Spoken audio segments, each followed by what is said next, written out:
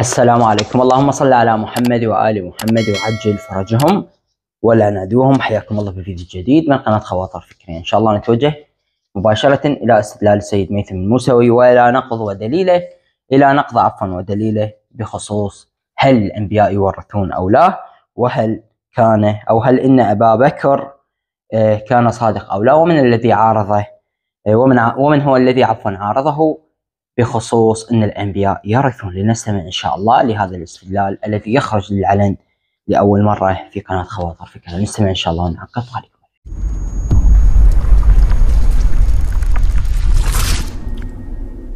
لحظة لحظة. يا أستاذي الكريم أستاذي الكريم. خو خلينا أول شيء خليه حوار ودي. ما راح نتجاوز ولا أي شيء. حوار مشان يفهمون الناس ونستفيد. الآن يا أخي أنت الآن تتكلم تقول ماذا إنه أنت لا تتكلم لي بكتب الشيعة اتكلم لي من كتبك. أنا أرد عليك من كتبي. قلت لك يا أخي سمع رسول الله أبو بكر الصديق سمع من رسول الله. نحن معاشر الأنبياء لا نورث. كل ما تركنا صدقة. أنا جبت لك شاهد على هذا الحديث بكتبك. قاله جعفر الصادق. لم وأنت عندك الإمام المعصوم. اولا اولا يا أبا أديب. اولا الإمام الصادق قال إن الأنبياء لم يورثوا. هل تعرف الفرق بين لم ولا لم لم يورثوا؟ ثم الكلام عن وراثة اسمع اسمع. كلام الكلام عن وراثة العلماء للأنبياء. ولكن أنا أسألك سؤال. أنتم ثبت عندكم أنه النبي لا يورث. وأبو بكر قال أن النبي لا يورث. طيب الذي يقول أن النبي يورث هل هذا يكذب أبي بكر؟ هل هو هل هو الكذاب أم مع احترامي لرمزك أبو بكر أم أبو بكر كذاب؟ إذا واحد قال النبي يورث شنو حكمه هذا؟ كذاب من الكذاب هو أم أبو بكر؟ ما حد قال إنه الأنبياء يورث خذني خذني بلطفك وبحنانك وخذني على قدر عقلي ماذا يورث؟ أنا أنا, أنا يجوز يجوز عندي دليل إنه واحد معني تابعي زين راوي قال إنه النبي ورث. هذا كذب أبو بكر. طيب هذا الذي يكذب أبو بكر شنو حكمه؟ يا تفضل اعطيني مين كذب أبو بكر؟ تفضل. أنا أقول لك الذي هو شوف شوف أقول لك شوف. هو هذا الرجل هذا الرجل اسمعني هذا الرجل يعرف حديث أبو بكر ويعلم أن أبو بكر قال سمعت رسول الله صلى الله عليه وآله وسلم يقول نحن معاشر الأنبياء لا نورث. يعلم جيدا. ولكنه ماذا قال؟ قال إن النبي يورث، يعني هو يعلم أن أبو بكر قال هذا ويخالف أبو بكر ويقول إن النبي يورث، شنو حكمه هذا؟ أعطيني الحديث أستاذ ميسم مو اعطيته أعطيني حكمه شنو من هو الكذاب؟ هو ام أبو بكر؟ الحديث يا من هو الكذاب؟ وأنت اليوم امبارح قرأت لك روايتين رميتهم عرض الجدار يا يا رجل لا لا مو روايتين أنا أسألك من هو أنا عندي شخص شخص زيد من الناس سين صاد هذا الرجل خالف أبو بكر وقال إن النبي يورث. معلش نرد عليه انت انت أنت, كشيخ ومحاور سني. تصدق هذا الرجل؟ ها أم تكذبه وتصدق أبو بكر؟ لا أنا أصدق جميع الصحابة لما سمعوا من رسول الله. لأن كان مو قال الصحابي جزء مو صحابي هذا. جاء صحابي. جاء لما جاء العباس لما جاء العباس. وعلي بن أبي طالب عند المحاكمة لما قال اقضي بيني وبين هذا شهد عليهم أنهم سمعوا كما سمع أبو بكر أنه ما تركنا صدقة وأقروا على هذا كذبت والله. يعني مو بس أبو بكر سمع. كذبت والله. أنا أنا ما ما أنجر وياك ما أنجر وياك. الحديث في صحيح مسلم. سؤال يعيد لك للمرة الأخيرة. اسمعني أو في الحديث. أو في الحديث. أبو بكر ثبت عنه قال أن النبي صلى الله عليه وآله قال نحن معاشر الأنبياء لا نورث اجى واحد متأخر. زين. آه راوي شارح الحديث قال لا النبي يورث. زين. من الذي يكذب ومن الذي يصدق؟ يكذب هذا الراوي هذا الشارح ويصدق أبو بكر أم يكذب أبو بكر؟ بحسب ميزانكم أنتم. أم يكذب أبو بكر ويصدق هذا العالم؟ لا يصدق أبو بكر ويكذب لأنه لأنه في شواهد كثير على كلام أبو بكر. وما وما حدا عارضوا خلينا نشوف هذا منه إخواني إخواني لحظة لحظة أبو ذيب أنت جاوبت اسمع اسمع الإشكال. يلا تفضل. إخواني يصدق أبو بكر ويكذب هذا الرجل الذي قال إن الأنبياء أو إن النبي يورث. طيب من هو هذا الرجل؟ يقول في مسند أحمد بن حنبل والسند طبعا صحيح. يقول حدثنا حدثنا حدثنا عن أبي الطفيل. يقول لما قبض رسول الله صلى الله عليه وآله وسلم أرسلت فاطمة إلى أبي بكر. أأنت ورثت رسول الله صلى الله عليه وآله أم أهله؟ قال فقال لا بل أهله. فقالت أين سهم رسول الله صلى الله عليه وآله وسلم؟ ها؟ أبو بكر يقول أهله يرثونه. إذن أبو بكر هنا كذب أبو بكر في صحيح البخاري.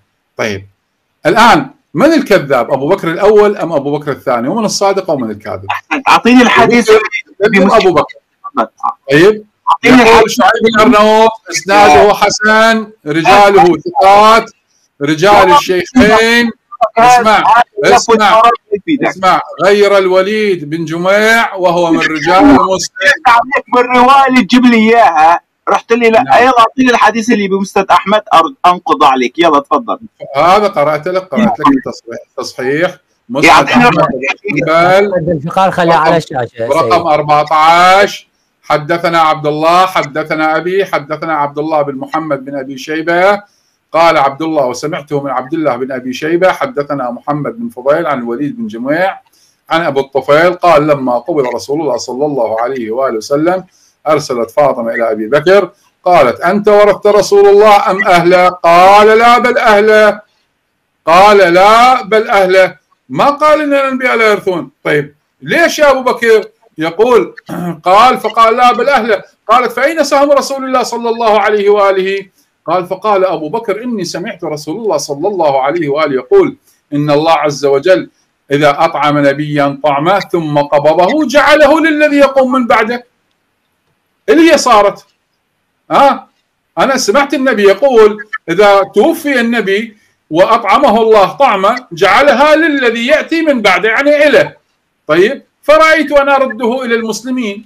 لا هو ما رد للمسلمين. هو ما رده المسلمين هو جاب خيبر وأعطاها لعائشة. إلى أن مات. سنتين هي عند عائشة. قبل أن يموت قالها رجعيها لي. رجعيها. خيبر دولة دولة. دولة كاملة أعطاها لعائشة. دولة. لعائشة تتصرف بها. تتصرف بها براحتها. طيب هل تعلم أن نساء النبي صلى الله عليه وآله وسلم بعن الدور التي كنا يسكنها مع يسكنها مع رسول الله صلى الله عليه وآله وسلم؟ بأي حق؟ إذا كان النبي لا يرى كيف عائشة تبيع دارها؟ كيف سودة باعت دارها؟ كيف حفصه حفصة جعلتها لعبد الله بن عمر وعبد الله بن عمر بعد ذلك يعني جعلتها إرث لأخيها وعبد الله بن عمر أدخلها في المسجد. طيب كيف معاوية اشترى من أمهات المؤمنين بعض حجراتهن اشترى دفع فلوس. يلا النبي لا يرث بس على فاطمة ما عندكم هيك والله العظيم ما عندكم شيء. النبي صلى الله عليه وآله وسلم لا يورث فقط على فاطمة. نجد الحروري والألباني يقول صحيح. يسأل ابن عباس في صحيح سنن النساء الألباني يقول صحيح. قال واعلموا إنما غنتم من شيء فإن الله خمسة وللرسول ذو القربى. قال لمن ترى هذا السهم؟ قال لنا. قربى رسول الله صلى الله عليه وآله وسلم. طيب. قال عرض علينا عمر شيء رأيناه دون حقنا فابينا أن نقبله. ما أعطانا الحق الخمس. زين؟ الخمس. ما أعطانا رأيناه دون حقنا فابينا أن نقبله. طيب. والذي عرضه عليهم يقول أن يعين ناكحهم ويقضي دين ويعين غارمهم. كل هذا الآن. في الوقت نفسه في الوقت نفسه في سير أعلام النبلاء عمر بن الخطاب يعطي نساء النبي الأموال وزاد عائشة 2000 دينار. 2000 دينار ذهب يا رجل. تعرف شنو 2000 دينار؟ ليش يا عمر؟ يقول يقول لأنها حبيبة رسول الله. زادها 2000 دينار ذهب. لأنها حبيبة رسول الله. سؤال لك إذا كان النبي لا يورث لماذا نساء النبي بعن حجراتهن لماذا بعن حجرات؟ لماذا بعن الدور؟ بأي حق؟ بأي حق؟ لا يورث وين باعهم وين باعهم ما باعهم شيء يا رجل. حجة ما باع ما باع ما باعهم شيء. انت انت أنت آه، تتكلم دفعا بالصدر. أنا راح أعطيك الأدلة على أن نساء النبي عندكم أعطيني. عائشة وين باعت حجرتها؟ يلا تفضل. الان الآن إن شاء الله. الآن أعطيك. الدليل عجيب عجيب عليكم شنو الجرأة كل هاي المصادر وإلكم عين تتكلمون. قسما بالله. والله أنتم مغيبين؟ أقسم بالله والله. تطعنون برسول الله. الشيعة ما بأكثر تطعنون كلها. برسول الله. هاي المصادر كلها آه، رجاء من غير من غير رفع الكتم الله يخليكم إلا بإذن ال- الحاج وعد طيب أخوان بالله عليكم خلونا مع الأستاذ ميسم أرجوكم. أول شيء يا أخوان الرسول ال- الكريم هو هل هو يعني جابي أموال ولا ولا فاطمة تدور أموال وتضوي أراضي؟ أصلا هي أول لاحقين برسول الله هي تدور أموال وتدور فدك بعدين لما يا رجل يا رجل يا رجل تدور أموال يعني بس حلال على أبو بكر. ينطي خيبر العائشة تدور أموال وعمر يزودها 2000 دينار. يا رجل يا رجل اسمع اسمع علمائك اسمع يا رجل. أنت سأل سؤال اسمع الجواب. يا رجل مو مسألة يدورون اموال شوف فاطمة عليه السلام ما جاءت تطالب بفدك فقط. جاءت تطالب بفدك. طيب وبخمس خيبر. طيب وما افاء الله على رسوله. هذا الذي ذكره الله تبارك وتعالى. مما لم يوجف عليه المسلمون بخيل ولا ركاب. هذا للرسول ولد القربى. طيب ثم طالبته بصدقة النبي في المدينة. فمنع عنها كل شيء. ما في شيء. خرج لأهل هذا البيت. لا من الإرث لا من الخمس لا من صدقة النبي صلى الله عليه وآله وسلم ولا من بيت المال. بيت مال المسلمين محرم عليهم أبد كل شيء ماكو. ما في أي شيء. وتحدى واحد يقول أعطوهم كذا. ما في شيء. بل ابن تيمية يعترف يقول وغاية ما في الأمر. طيب. وغاية ما في الأمر. يقول وغاية ما في الأمر. إنه أنهم كبسوا الدار ليعلم هل فيه من مال الله. الذي يأخذه فيعطيه لمستحقيه. يقول أبو بكر كبس بيت فاطمة يدور على الفلوس خاف ضامة فلوس عندها. زين؟ خاف ضامة فلوس عندها. إلى هذه الدرجة. إلى طيب. هذه الدرجة. علي بن أبي طالب كان اسمع كان يعمل بكد يده. كان يأمر الآباط يزرع النخيل. ابو أديب. أبو أديب لحظة. اخواني بس اريد امشي الدور بعد إذنكم. بس لحظة يا أستاذ وائل بس لحظة أرجوك أرجوك أرجوك أنا أنا متضايق الحر. أعطوني دقيقتين لحظة أنا متضايق الأخ طايل والحر. حياكم الله من جديد إخواني إخواتي بغض النظر عن أي شيء بغض النظر عن أي شيء نقول إن الأرث هو في القرآن الكريم في القرآن الكريم حتى نعرف إن الطرف الآخر بعيد كل البعد عن القرآن الكريم وعن تعاليم القرآن الكريم. دائما ما يقول الرسول بشر الرسول بشر الرسول بشر بكل شيء بأخطائه ب- بأن يفعل أشياء من خوارم المروءة عادي جدا لأنه بشر بشر بشر. لكن بشر فقط بالإرث لا يصبح ت- تكليف خاص أو شيء خاص أو نعم يعني حالة خاصة. اذا أخواني اخواتي السيد ميثل الموسوي نقل الدليل. تمنيت والله تمنيت إنه هذا المدعو أبو أديب يرد بدليل يبين بطلان كلام السيد ميثم الموسوي وحاشا للسيد ميثم. لكن أقول أقلها ينقض عليه لكن سلم له لم يقل قال كذا كذا كذا. ولم يأتي بأي رد لا على لا على السند لا على المتن ولا حتى على أي شيء آخر. لا نريد أن نطيل أكثر فقط أقول هناك آه، تذبذبات جدا كثيرة. ولخصها السيد الفاضل السيد ميثم الموسوي بكلمة نعم الإرث موجود عندهم لعائشة لزوجات الرسول إلا لفاطمة صلوات الله عليه إلا للسيده الزهراء عليه السلام تصبح مستثنى. أقول ويقولون عفوا يقولون إن السيده الزهراء عليه السلام ورثت العلم وهذا الاستدلال الذي دائما ما يعطى أو يرد أو يكون حاضر بهذا الموقف أو يكون حاضر بهذه بهذه المنطقة العلمية صحت العبارة إذا كانت السيده الزهراء عليه السلام وارثه للعلم. فعندما طالبت هل طالبت بعلم أم بجهل؟ وإذا طالبت بعلم فهي عالمة.